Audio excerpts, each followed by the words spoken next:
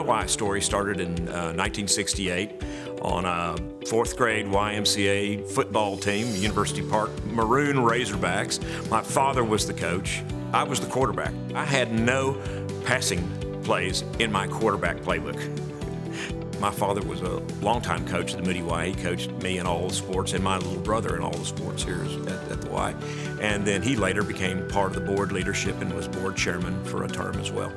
I really have a great generational connection with the Y. My father, uh, myself, and now my children uh, and my grandchildren have already participated in Y programs. As an adult, I've coached 30 different Park Cities YMCA sports teams with my kids, uh, ranging from soccer, which I know nothing about, to basketball and softball. I was raised to be like Ado Annie in Oklahoma, never say no, or I'm just a guy who can't say no. in the Y's mission, um, the for all is very important, and, and the Y really brings their game on that for all.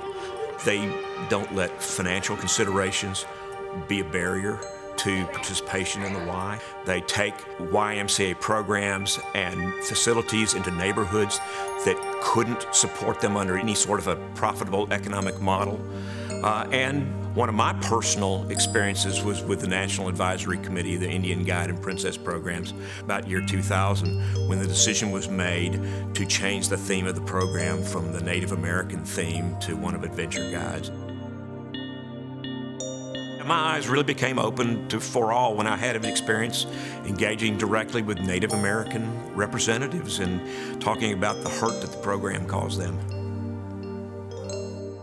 And I'm very proud of the Y that they moved in that direction uh, and inexorably in that direction towards the for all.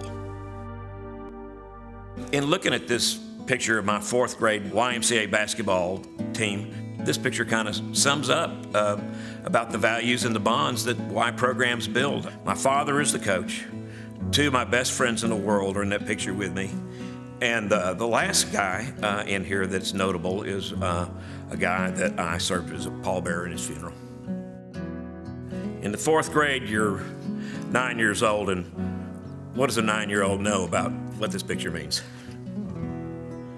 I guess it means a lifetime.